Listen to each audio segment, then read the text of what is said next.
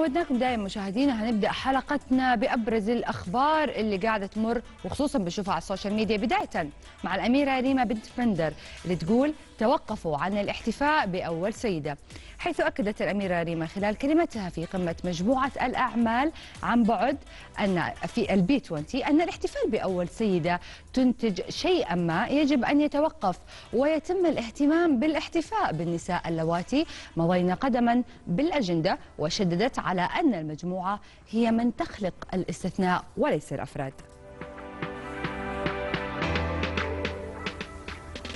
ووزير السياحة أعلن عن خمس مشاريع جديدة قريبا حيث كشفت وزارة السياحة أو وزير السياحة الأستاذ أحمد الخطيب عن مشاريع سياحية جديدة بالمملكة مدعومة من صندوق الاستثمار السياحي.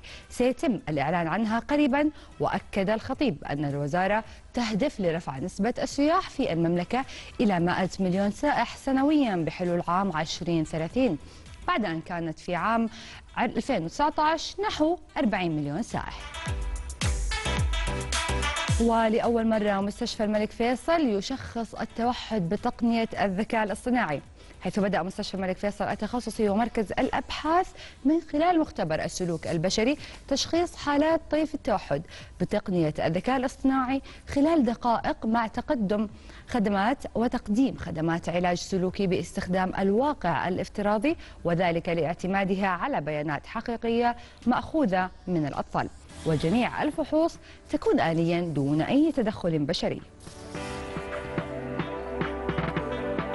والغذاء والدواء غرامة 5 ملايين ريال لمن يعلن عن منتج تجميلي مخالف حيث أوضحت الهيئة أن كل من يقوم بالإعلان عن منتج تجميلي غير مدرج أو مخالف لضوابط وشروط الدعاية والإعلان سيعاقب بغرامة تصل إلى 5 ملايين ريال. وشددت الهيئة على أنها تقوم برصد المواقع الإلكترونية وحسابات التواصل الاجتماعي التي تروج للمستحضرات المجهولة وغير المسجلة. إنجاز عالمي جديد مطار الملك خالد الدولي يحصل على شهادة الاعتماد الصحي. حقق مطار الملك خالد الدولي بالرياض اليوم إنجاز عالمي جديد يضاف لقائمة الإنجازات الذي يتمثل في حصوله على شهادة الاعتماد الصحي الممنوحة من قبل مجلس المطارات ACI الدولي. كتاب كثاني مطار في الشرق الأوسط. يحصل على هذا الاعتماد وذلك من خلال التقييم للتدابير وإجراءات صحية جديدة تتم تطبيقها أثناء جائحة كورونا للتأكد من صحة وسلامة كافة العاملين والمسافرين عبر مطار العاصمة. والزعاق هذه الأيام هي أفضل أوقات السنة للبذر والزرع والغرس. حيث حيث أوضح الفلكي دكتور خالد الزعاق أن هذه الأيام هي أفضل أوقات السنة للبذر والزرع والغرس وتستمر حتى دخول المربعينية أي بعد 35 يوما مبينا أن أول المربعينية في 3 ديسمبر. أمانة جدة تضيء ميادين جدة باللون الوردي ضمن مشاركة أمنية أو ضمن مشاركة أمانة جدة في حملة الشهر العالمي للتوعية بسرطان الثدي بالتعاون مع الشؤون الصحية في جدة. وشخصيات من عالم الأساطير تحولت لتماثيل مبهرة. نحتها بإتقان الفنان المصري عبد الرحمن جمال مستخدما الطين الأسواني وأفاد الباحث لليوم السابع أنه عرض أعماله في إطار رسالته الماجستير في جامعة عين شمس تحت عنوان الخيال الجامع في فن النحت المعاصر. كاريكاتير اليوم هيكون للفنان مفرح الزيدي بعنوان الالتزامات.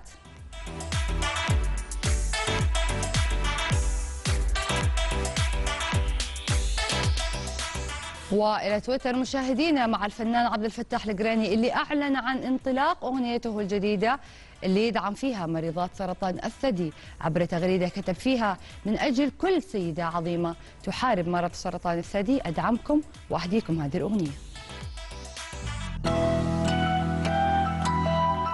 في ناس بترسم ضحكة بتنور طريق وانت ضحيتي عشاننا بكل شيء.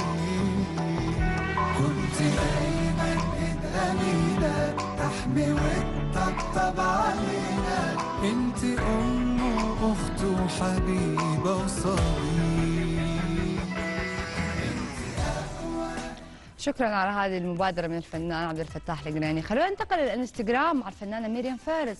اللي فاجأت متابعيها بآخر post بعد ولادتها لابنها الثاني واللي أطلقت عليه اسم ديف وكتب فيها صحيح وكتبت فيها صحيح أنك جيت على الحياة بأصعب بيئة أو خلينا نقول بأصعب سنة بس راح تكون راح أكون اخب مخبيتك. وأكيد هذا الخبر أو خلينا نقول هذا ال- ال- البوست اللي هي نشرته فاجأ كثير من جمهورها خصوصا إنها ما أعلنت عن حملها ابدا.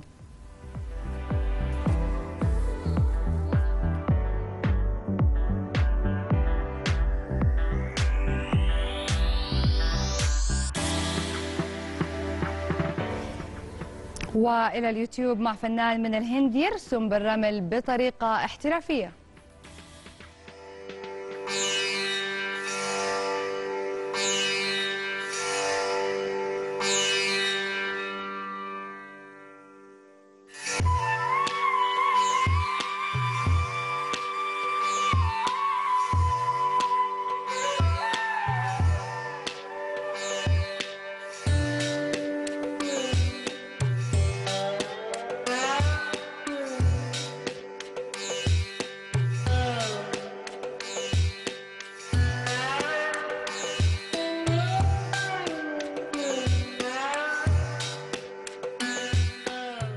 مشاهدينا كانت هذه هي أخبارنا لليوم. أكيد في تفاصيل أكثر في حلقتنا.